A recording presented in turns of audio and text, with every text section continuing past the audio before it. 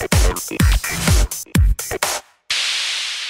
I'm Dan from D-Link and I'm here today to talk about the DGL 4300. This is our wireless gaming router. This creates a home network which is capable of sharing a broadband internet connection to all the PCs throughout your home.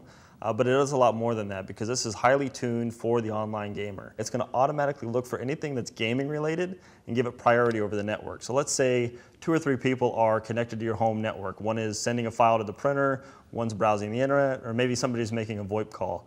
If you're doing an online game, you need priority because the delay between what you're doing on your PC or your uh, PS3 or other console and the game itself you don't want any lag. So this is going to automatically detect any of those transmissions and give it priority over everything else that's going on in the home network. So if you're an online gamer, you definitely need a gaming router, and the DGL 4300 from D-Link is a perfect way to start. It also includes gigabit ports on the back, so if you're connecting wired PCs or consoles, it's going to give you the absolute fastest speed on the market today. The DGL 4300 is available today at buy.com.